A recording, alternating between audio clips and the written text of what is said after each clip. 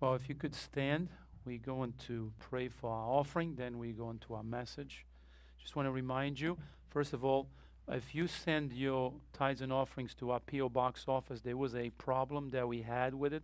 Actually, they closed the account.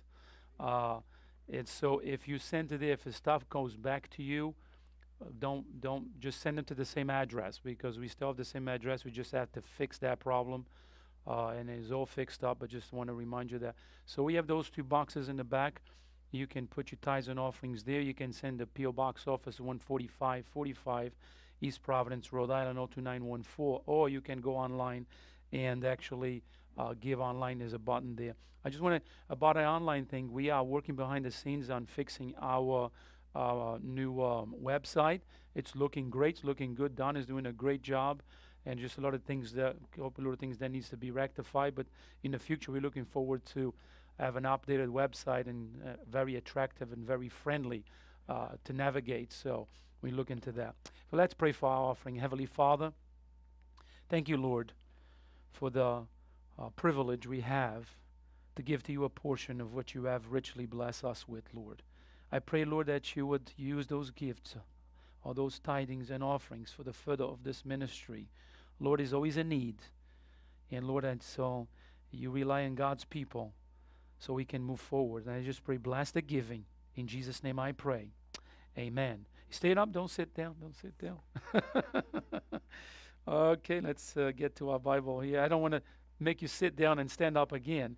So if you turn to Luke chapter 15, and today the title of the message is Home is Always the Greatest Place. Home is always the greatest place.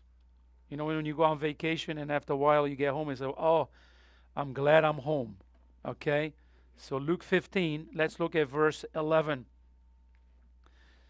And it says right here, and, and he said, A certain man had two sons. And the younger of them said unto his father, Give me the portion of the goods that falleth to me. And he divided unto them his living. And not many days after, the young man gathered all together and took his journey in a far country, and they wasted his substance with riots, riotous living.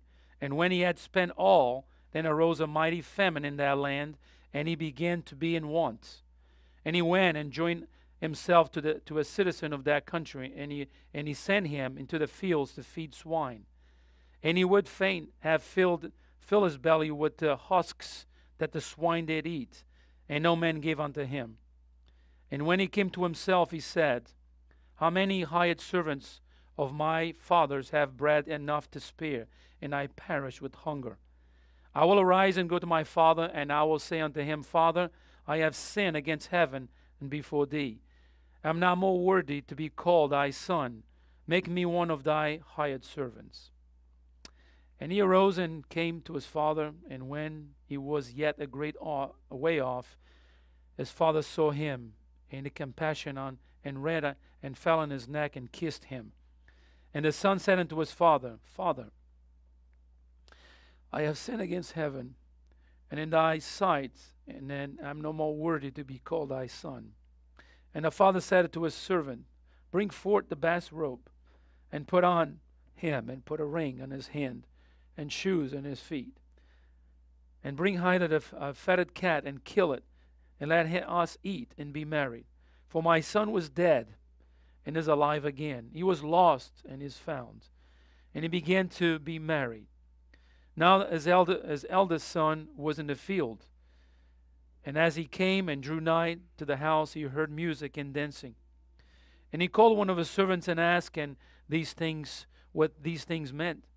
And he said, and he said unto him, Thy brother is, is come home, and thy father killed a fatted cat because he had uh, received him safe and sound.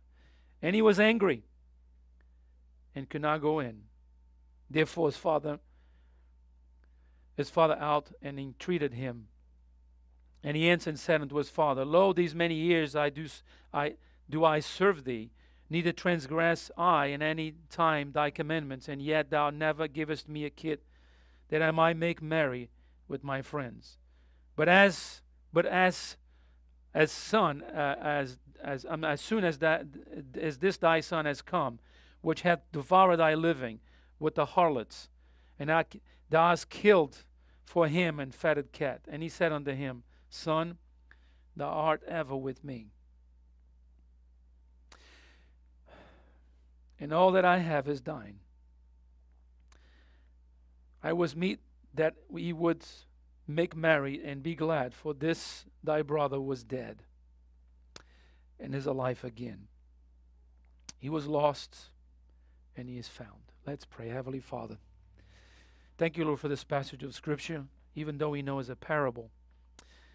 Lord, how true is this in many lives? And Lord, we have a great Father is always welcoming us with open arms. And I pray, Lord, if there's someone here among your children that is far away from home, help them to return home this morning. In Jesus' name I pray. Amen. Can someone get clean next? Can get somebody? Go to my office, get a clean, please. Thank you. uh, the message this morning is as we look at the learning with the Master throughout the year, that's what we're going to do. We're going to sit at the feet of Jesus and learn with the Master, not from the Master, with the Master, and require a sweet fellowship with the Master. Today is the home is always the greatest place. Let me put it this way. Have you ever been on vacation for a little while, and uh, after a while you just want to be home? You ever been there? You say, "Well, it's glad I'm glad I'm home." You go lay down in your own bed and your own pillow. Uh, everything is familiar to you. It is wonderful, isn't it? It's something about home that makes things different. Something about home makes us feel comfortable. Thank you so much. And I apologize for this. As we look at this passage of Scripture this morning, let me remind you that this passage is a parable, okay? And I'm going to explain to you as a parable. In a parable uh, to, to be kept as parables. We should not spiritualize parables, okay? So, what is a parable? A parable is an earthly story with a heavenly meaning. So, Jesus uses this story right here to, to towards the Jewish people for them to, to think about what they were doing, but also what their heavenly means, so they could look up to their heavenly Father. There are many Christians who are far from home. They are the children of God, but they are far, they're not living in fellowship with the Father. And the Father stays at the door looking at the child because that child is far from home. My question to you this morning is Christian, where are you this morning? Are you far from home? Are you feeding with the swine of this world? See, that's what this man was doing. He, he asked the father to give me my portion, and the father gave it to him. And you know what he did, like many do today? He went and just, just, you know, he didn't work for it. He didn't work for it. The father gave it to him, and you know what? Sometimes that's what happened. When we get, get, get, get, we don't appreciate what we get, and that's what we do with it. We just spend it. So he went out and he spent with money with the harlots and with all his so-called friends, and he spent it all, and he find himself with the swine. For a Jewish person is the lowest of the lowest is how you can go. Because Jew, Jewish people don't just, just don't go together with pigs. And that Jesus tried to get and emphasize in the story so the Jewish people will open their eyes and see where they were going. He was feeding with the swine. How many people today are feeding with the swine? How many Christians are sitting with swine today? They forgot the Father, they forgot the love of God, and they're feeding with the swine of this world. And they stink. You go sit with the swine or go lay down with the swine, see how you come out of it. Have you ever see swine? Ever see pigs what they what they do? Goodness. Uh, we raise pigs. I know what they do. So this young man was eating the food that was coming to the swine. Let me tell you, that's how low you can be. And let me tell you, Christians, many Christians this morning, they stink. They're dirty because they're feeding with the swine of this world. So this is a parable. It's an earthly story with a heavenly meaning. So often this parable is preached to pertain of backsliding Christians In truth, the correct interpretation is that Jesus is speaking about lost people here, but also, uh, also the children of Israel, also those who uh, knew God, understood about God, but walk away from Him. Let me tell you. Let's put this to 2021 right now. How many children of God, Christian people, are feeding with the swine. See, in the first parable, if you look at this passage of Scripture, uh, the, um, like I said, the Pharisees and the scribes were upset that Jesus was hanging out with sinners. Jesus spoke the, the, uh, the three parables that comprise this chapter that we are here uh, confront the hardness of their religious hearts against lost sinners. And let me tell you, be careful with religion. I'm a pastor and I'm telling you this. Religion makes you do things that are not biblical because they're man made stories, man made things. We have to have that relationship with our God, with our Father. So, the first parable is the lost sheep. We learned that the shepherd went after uh, one and left the, the other hundred behind because they were safe. In the parable of the lost coin, we learned that the woman uh, sought one out of ten in the parable of the lost son, we see the father looking for one out of two. But don't miss the fact that the father went to both of his sons. One was home.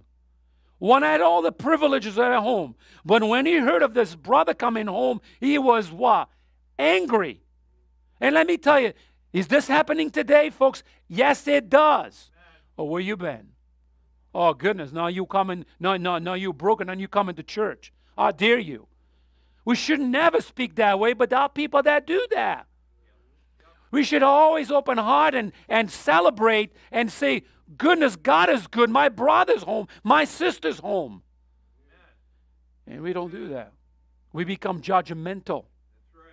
That's what this brother did here. He was angry. He was mad. How could you didn't do that for me? And I always been with you. And he forgot the blessings of being with the Father. The other one when feeding with the swine. You know, sometimes we feed with the swine for a time and we realize we wrong. We don't need to go home and be told that we've been wrong. We know we've been wrong. We need somebody to embrace us, to love us, and to help us.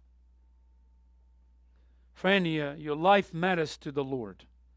And just as the shepherd sought the sheep to, to keep the, the to, to sought the sheep, I'm sorry, just as the woman sought the, the coin, just as the father sought his sons, our gracious Father loves you. Listen, you can be sitting in church and be far from home. And I'm not kidding with that. Your mind and your heart can be far from the Lord. Maybe your mind is already in a meal what are we going to eat? Maybe your mind is on Facebook. Maybe your mind is on social media, whatever it is. God wants you to come home. Let me give you the story. In The Wizard of Oz, Dorothy spent the first part of the movie, if you ever watched that movie, trying to find a way to get away from home. That's the story of many teenagers. I either got away from my parents, I either got away from home, because nobody understands me, nobody appreciates me, I'm just going to run away. And many do. And many entertain the thought. But let me tell you this she, the first time, part of the movie, tried to get away from home. When she finally wends up in Oz, she spends the rest of the movie trying to find a way back home. You know, sometimes we think we we want to run away as fast as we can from home until we get out there and we see what the world offers and how, we, how broken we are. We try to get back home. Finally, she learns the truth that she, also, she uh, had always had the ability to go home anytime she wanted. All she had to do was click the heels of her ruby slippers together three times and say, There's no place like home. When she did this, she went home. And let me tell you, Christian, you're far away from the Lord this morning, you're away from home, you're feeling this wine. You know how you come home is very quick. He's ready to embrace you. sinner, you're not saved, you can come home. We have a God that wants to forgive you.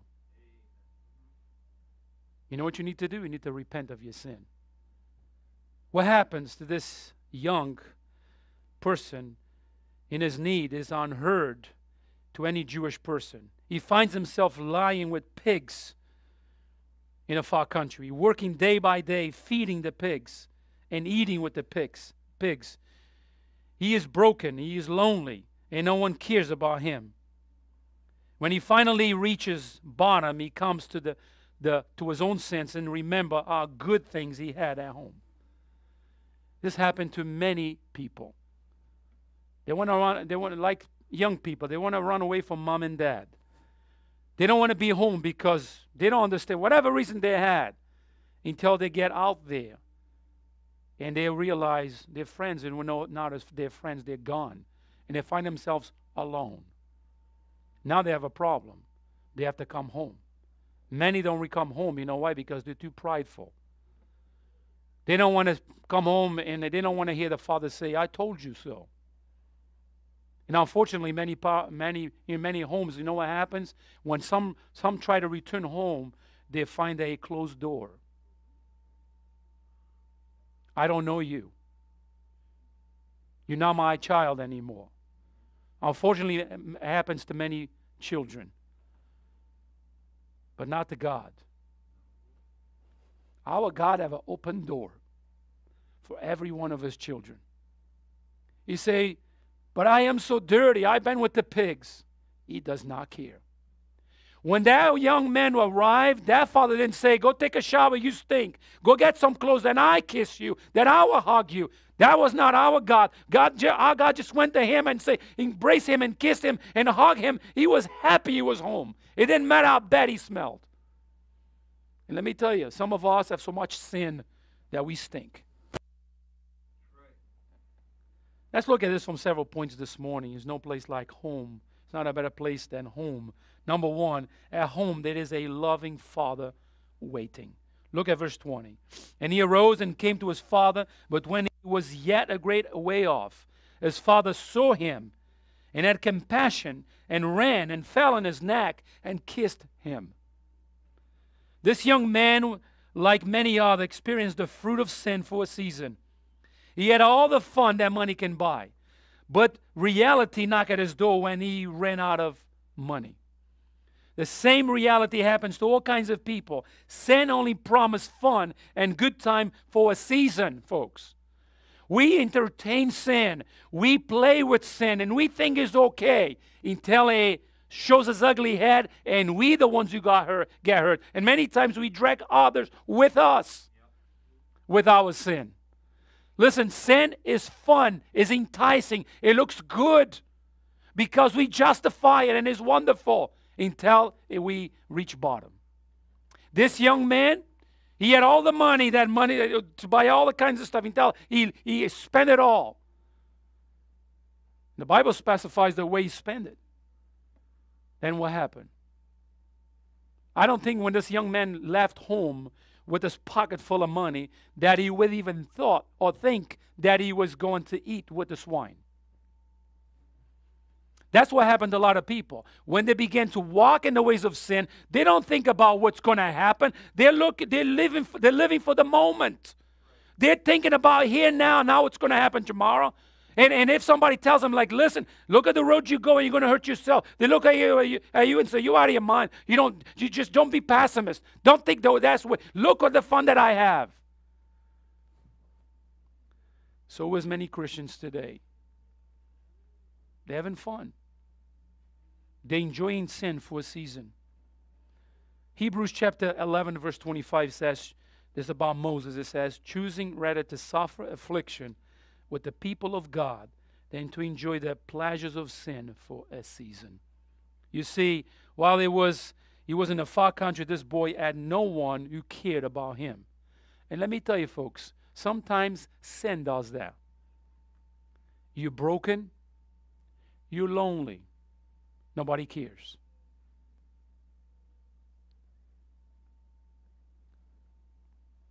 When this young man arrives at home thinking that his father would never really look at him. I was thinking about my earthly father here when I was looking at this message. It was a time I was a teenager. Teenagers, please pay attention. And I remember something that I did bad. I'm not going to tell what I did. It was I'm not proud of it. And I remember my father knew about it. And I remember that day planning my words, how I was going to ask my dad for forgiveness. And I was planning in my mind when I got to him, I was going to tell him. And I walk in the house, and my dad was there. I could see the disappointment in his face. My dad was not a man of many words, he was a quiet guy. But I remember my dad didn't ask me why I'm disappointed on you. He just embraced me.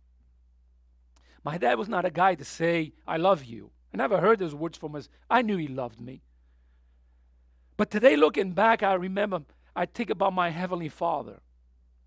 When I break fellowship with Him, when I sin against Him, when I do wrong, when I go home, He embraces me because He loves me.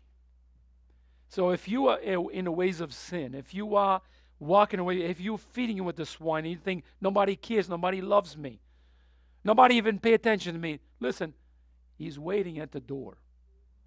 He's looking down the street for you to come home. Are you going home? Letter A, the heart of a concerned father. We see this in verse 20. Look in the middle of the verse says, But when he saw, but when he was yet a great a way off, his father saw him. Just imagine this. when it comes to, to the sun down, uh, when, when he sees the sound coming down the road, I'm sorry.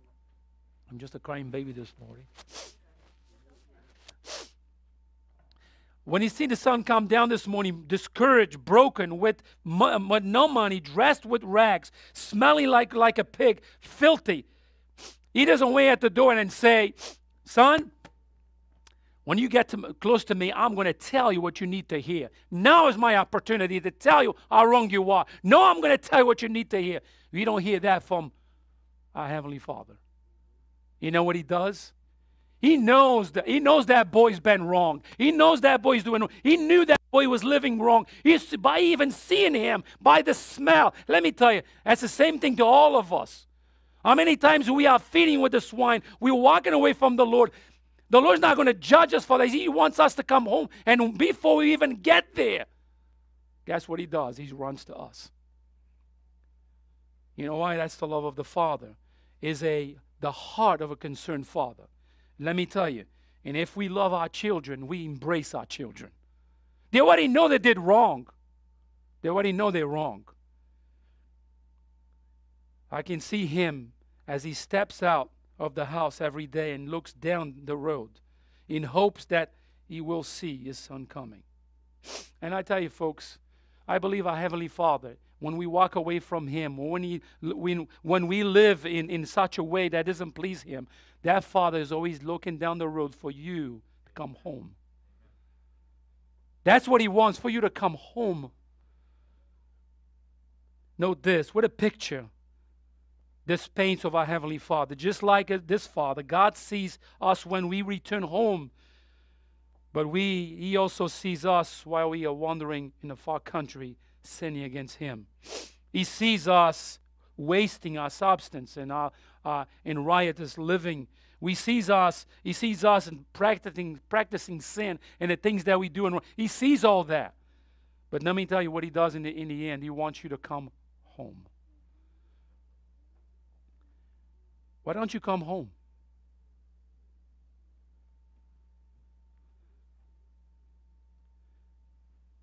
Do you ever been in the pig pen? Honestly, I'm asking the question. You ever been in the pig pen? Do you ever fed swine? Swine stink. Let me put it this way they play with their own poop. That's how dirty swine is. This young man was there with them. Let it be the heart of a compassionate father. We see this in verse 20. There are so, so many kids who have walk away from home for all types of different reasons. So many try to return home, but when they come home, they're not welcome. They find the closed door, like I said in the beginning. They want to come home and they, they're broken, they're discouraged, they're beaten down, and they knock on that door. That door is locked. They're not welcome any longer. And let me tell you, I'm glad that our Heavenly Father's not like that. We can come home and return home, and that door is always open. Is open for the lost sinner, is open for the child of God. God is always to forgive because He's a compassion, loving God.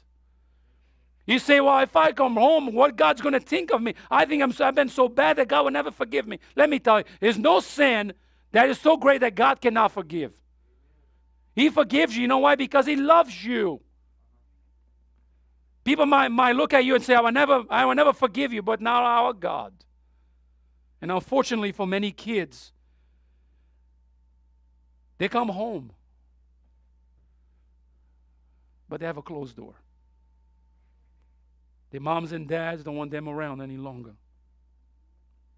I would just say to a parent like that, I can't, I can't you, how could you when you raise that child with love and care, all the time you spend, the money that you spend, the love that you spend, how could suddenly that person not welcome in your house anymore? What kind of love is that? But they're out there. They are out there. Again, this Father is a picture of a Heavenly Father. He too responds in compassion to those who return to him by faith. When the sinner takes the step of faith towards God, he moves in great leaps towards the sinner. The ancient Western uh, proverb says, Who draws near to me an inch, I will draw near to him a mile. Who, draws, uh, uh, who walks to me, I will leap to meet him. Actually, James put it this way in James chapter 4, verse 8 Draw nigh to God, and he will draw nigh to you. God is always there ready to help you and to help me is able to run to us, receive us. And let me tell you, in those days, it was not common for a father to, or an adult man to run. It was against them, what they were doing, the, against the culture of the time. But not this father. He was so thankful that his son was came home that he ran towards his son. Now, put yourself there, parents.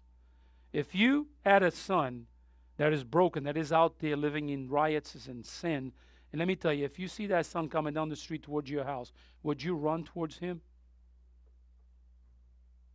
Or would you just say, All right, this is my opportunity now. I'm going to give it to you. Now think about that. When Jesus died on the cross, he took the penalty of our sins. Now the way is open for you to come home.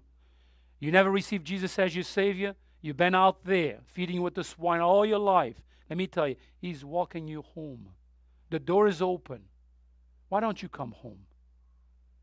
Don't play with sin any longer. Why don't you come home? Actually, let me remind you of this. You don't want to die without Jesus. You're making the worst mistake of your existence. Imagine this. Imagine the fear that must have been in, the, in that boy's heart when he headed home. It is clear, seen in verse 17 to verse 19, he wanted to return home as a hired servant. Look at verse 17. And when he came to himself, listen, he was living in sin. He was feeding the swine. The Bible says when he came to himself, he realized the situation. He began to think about where, what he was doing, and he began to think, whoa, what, what have I done? Listen, in order for you to get saved, you have to come to the end of yourself and understand where you're heading. All right, where are you heading? I don't want Jesus. I don't want his gift. I don't want nothing to do with the Bible. Where are you heading? Think for a second. All right, I don't want to, I will die my, my, by myself. I'll, I'll take care of me when I die. Okay, where are you heading? You know, I can tell you where you're heading. You're heading to hell. Right. They say, well, that's your opinion. Well, that's Bible. You are heading to hell. Christian, you're living away from home. You are feeding with the swine. Where are you heading? You're hurting yourself. And you're hurting your Heavenly Father. And you're hurting people around you. Where are you heading? He said he came to the end of himself. And he said, How many hired servants? He began to make to make to think about, okay, he came to the end of himself. He began to think about the father's house. Look what he says. He says, How many hired servants my fa- in my father's house have bread enough to, to spare, and I perish with hunger? Reality. How many Christians are spiritually hungry this morning?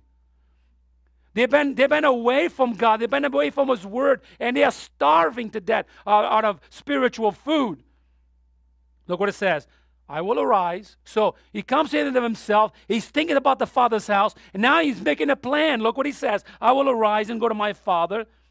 And I will say unto him, he's a, actually he's practicing this speech like I did many years ago. He said, like said, Father, I have sinned against heaven and before you. And no more worthy to be called thy son. Make me as one of thy hired servants. You see how humble he became? He became so humble. He didn't, oh, I deserve this. I need, oh, I, I, I, I that's my money. And so, listen, he came to the end of himself and realized that he was wrong. And that's what happened when we receive forgiveness from our Heavenly Father. When we come to Him and we realize in our mind we've been wrong. Hired servants were, were lower than slaves. Slaves often came to be considered as part of the family in those days. Hired servants, on the other hand, could be dis- dismissed at any time. He feared being turned away, but he found a father who loved him and who was filled with great compassion on this boy. My friends, you need not fear the Lord's turning you away. He doesn't turn anyone away. He loves you and he loves me.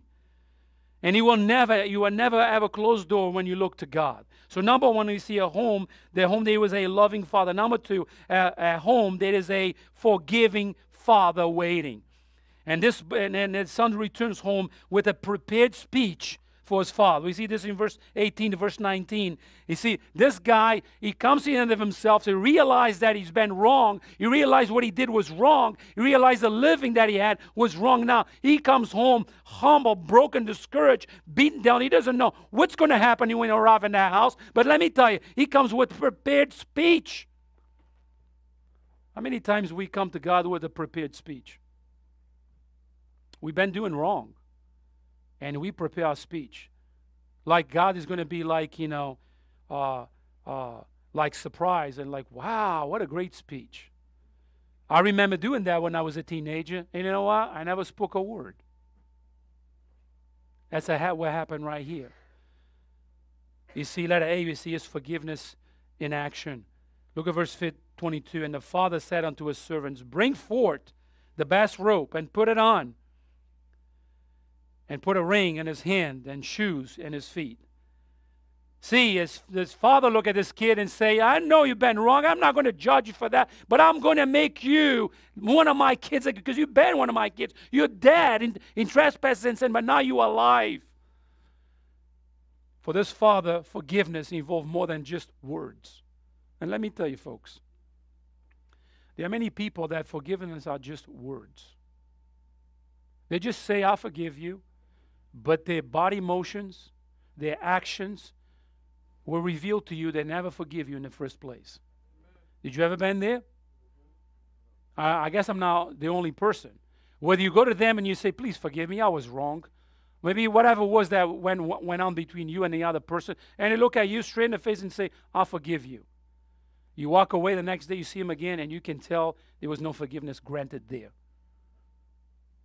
But let me tell you, this father forgive that son.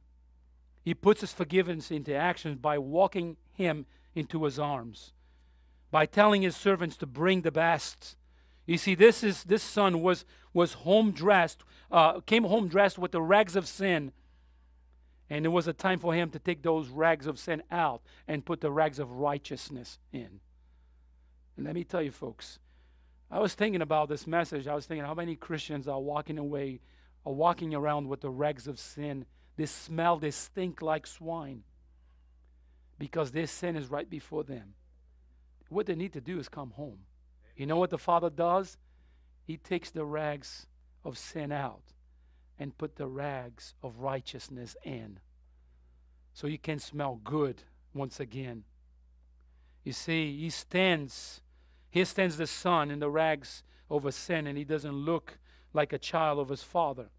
But the father orders the best of his ropes to be brought and to put on his son. This rope would cover all the stains and dirt of the pig pen. This rope would make him look like his son once again. This rope served to erase all the visible signs of this boy's sinful past. Listen, folks, how many times we are feed with, feeding with the swine and we come home, but the marks are there. The marks of the, the living that we had are there to remind us of what happened when we feed with the swine. Sometimes they're good to have it there so we don't forget that when we walk from the love of the Father, that's what we get. So when a sinner comes home, they also receive a, ro- a robe of righteousness directly from the Father. Actually, Isaiah chapter 61, verse 10, it says, I will greatly, greatly rejoice in the Lord. My soul shall be joyful in my God, for the had clothed me with the garments of salvation. He had covered me with the robe of righteousness, and his bridegroom uh, uh, decked himself with ornament, and a bride adorned himself with her jewels. You see, right here, God says, You come home, and that's what I have for you. I tell you, folks, those Christians that are living out there feeding with the swine, they didn't come to the end of themselves yet. We need to pray that they will. We should not be like that brother who was at home who was angry because his brother returned home. We should rejoice. Let it be his forgiveness, forgiving blessings. There are far too many Christians who have returned home and have been forgiven by the Father, but are still living with the guilt of their sin in their mind. Let me tell you, hear me well, okay? You need to pay attention and hear me well here, okay? We come home from the cesspools of sin. We were feeding with the swine. We come home. God embraces us. God loves us, and He forgives us. Here's the problem of many people, many Christians. They never forgive themselves. It is time that we need to forgive ourselves. We know we did wrong. It's come upon God says, Look, said his child, I have forgiven you. And we look at him and say, Father, I cannot forgive myself. I've done so much wrong. And God said, It is time for you to stop. Remember the movie we had last Sunday night? What happened in the end of the movie when the lady let go of the balloon? What happened with the other ladies? They let go of the balloons. It was just an action for them to help them to forgive themselves of what they have done. It is done, folks. You can't go back and undo it. The marks are there. But it's something about our emotional being. We need to forgive ourselves. Sometimes we don't move forward because we're still blaming ourselves and say, You don't know, I hurt so many people. I did so much wrong. God forgive me, but I. Is the key. Forgive yourself. Move on. Let us see. Is forgiving rewards. Look what it says in verse 22. But the father said to his servants, Bring forth the best robe and put on him, and put a ring in his hand and shoes in his feet. Some Christians don't think that because they have messed up so bad, God will ever be pleased with them again. Listen, we have to believe this that our God is a loving God. And when He forgives, look what it says He forgives. He doesn't go back to you and say, Hey, remember what you have done? That's not our God. You might have a parent that does that. You might have a spouse that does that to you. We might have a co-worker that does that to you, but not our God. He doesn't go back to you and say, You remember what you have done? No. He forgives. And he wants you to forget too. He wants you to f- forgive yourself. Listen, folks, is that is that you? Then you need to, if you do that to other people, then you need to stop and trust the forgiveness of God that has granted you. It's so wrong for us to, if we forgive somebody, to when some a situation come up, we mention, do you remember what you have done to me? Do you remember that day? Don't come and do it again. You know what happened there? You never forgive that person in the first place. That's the problem with a lot of people. The father calls for shoes to be brought to his feet, to his feet, the feet of his son. Only slaves, when when barefooted, sons wear shoes. The boy returned home designed just to be a mere servant, but the father is determined to recognize him as his son.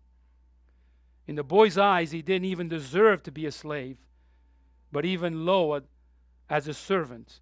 The father, however, looked at him and said, You are worthy, you are my son. And let me tell you, you are feeding with the swines this morning. God is looking at you and say, Come home. I love you. You are my child. I love you.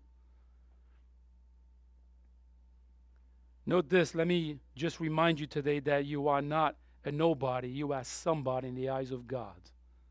Don't matter where you've been. Don't matter how many scars you have in your body from previous sinful things. Let me tell you, you are somebody in the eyes of God. God loves you. Where was the prodigal son? Feeding with the swine. Where was the friends?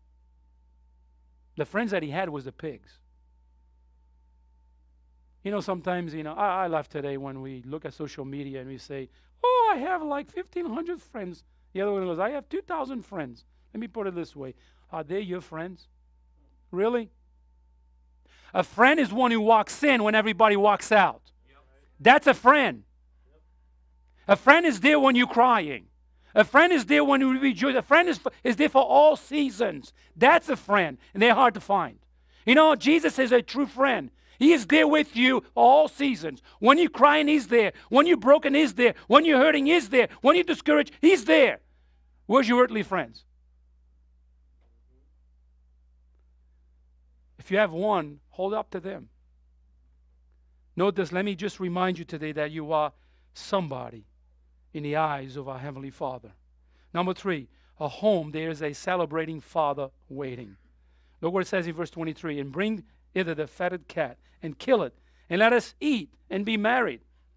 Get this. Some Christians feel that it's very hard to return home after that what they have done. They feel that if they return home, they will be judged. Let me tell you, I, I experienced this one time. We had a young man in our church, a young man in my age, so I'm still young anyway. but he was a young man, and he, he, he, he, he kind of slid away from church. He disappeared out of church for a while, for a long while. So we had a man's, it was a Father's Day activity, Father's Sunday. We had a canoe trip. So father and son went on a canoe trip. Patrick remembers that great adventure. I'm not going to mention that. But anyway, uh, we had a canoe trip. And guess who showed up in that thing? The man who was there showing up. No, they was not the same guy that I knew before. And I'm not judging anything. I'm just saying, I'm going to show you a little bit how he looked. He had the, since then he put tattoos on his body. He didn't look the same guy. He had other things going on. So I call him. It happened that I didn't call him aside. It happened that we got to be by ourselves, and I began to talk to him. So I told him, I said, "Hey, good to see you. It's so good to see you." And he goes, "Well, are you judging me?" I said, "No, no. I'm, I'm glad. I'm just I'm glad to see you." And he said, When you come into church? And he said, I can't go to church. I said, Why? What people going to say of me? Look at my tattoos and my body. I don't look the same person. I did so much wrong. What people going to think of me? See, in their mind, in his mind, he's thinking the worst. I said to him, I said, I believe people will embrace you and be glad you're coming home. And they were. It was a good celebration when he came home. That man was dead in trespasses and said, I'm not saying he was saved, but you know what I'm talking about here. When he came home, and he and then I approached him at the end of the first service, and he said, Wow, I was thinking differently. This young man right here, same thing. Look what he's doing. He's going home and he's planning what he's going to say to the father. He's broken, but he's willing to come home. And guess what? He finds a loving father there. And a lot of times it happens to us. What people going to think if I come home? Don't be like that brother. Because in some churches it happens. There is a brother there that is angry. Letter A, you see the instructions for the celebration. And bring hither the feathered cat and kill it, and let it, us eat and be married. After the son has been covered and restored to this place in the family, the father have a celebration. Let me tell you, folks, when we have a brother or a sister that slips away because of sin, they feed with, feeding with the swine. When they return home, return, return home, it's celebration time. The heavens rejoice, so should we. That brother was is hurting. That brother, they, they know they did wrong. Let's embrace them and love them. Because that's what our Heavenly Father wants us to do. You, you realize that the Father here doesn't, doesn't, is not hard on the Son that is home. He just reminds the Son of the blessings that he have being with the Father. I think sometimes we Christians, we forget the blessings that we have when we walk in sweet fellowship with the Lord. I think we, we take for granted and we forget the blessings that we have. And this young man, of course, forgot the blessings that come from comes that to walk in sweet fellowship with the Lord. Let it be the fellowship in the celebration. So the celebration begins. The father invites the servants, the neighbors, and the friends and the family for a great celebration. Let me tell you this. What do you think Sunday is? Right. What do you think Sunday is? Yep. Sunday is a time of celebration. All right? You come to church and you're broken and you're discouraged. You don't feel like singing. You don't feel like, you just want to slip or you don't want want to be noticed by anybody. But let me tell you, we meet together here for a great celebration. We celebrate our risen Savior. That's what Sunday is. Listen, this father right here has a great celebration because this son was dead and now is alive. And he gives the message to the other son, as should, so should we. Sunday is a great celebration time. We rejoice together because we are together. And we praise the Lord for it. Because it might come a day that we're not able to be there. For whatever reason. This is a picture of many who are in the family of God. They are always around the Father, but they take sometimes Him for granted. They do not enjoy this fellowship and they refuse to, to rejoice when someone comes to know Him. Let me put it this way almost done with this. The Bible is not clear what it says, but the Bible doesn't tell us if that other brother went to the celebration. Did he go? or did he didn't go at all. We know that he was angry. The father didn't judge him, but the father explained to him about his blessings that he had to be with them the whole time. But the Bible doesn't say if he went there or not. And that's said. I mean, why he's not there? God is God. We don't know. We want to know, right? But God, the Bible, or the Lord cho- choose not to reveal that to us. So what a blessing it would have been for his eldest son, who was the other brother, to be there and ran to his brother and say, Brother, I love you. Welcome home. A lot of times, we Christians, we are guilty of that. We have a brother, we have a sister who's been away from home for a long time. They return home, and we fail to go to them and hug them and kiss them and embrace them and say, I love you. Welcome home.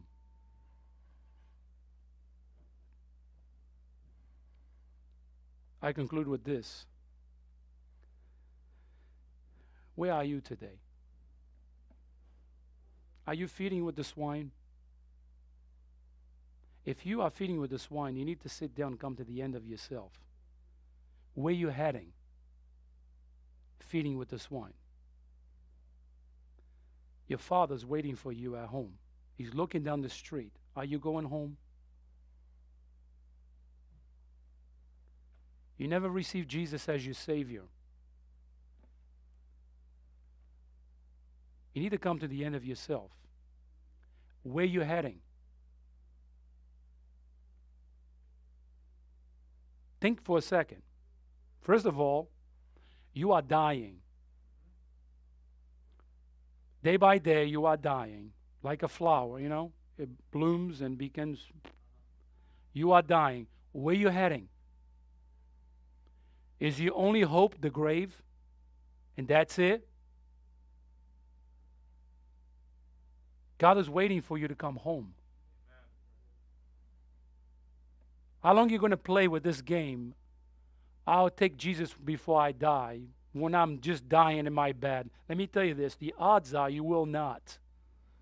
The Bible says salvation is now. Now is the appointed time. Now is the day of salvation. You know why? Because you might go to sleep tonight and don't wake up.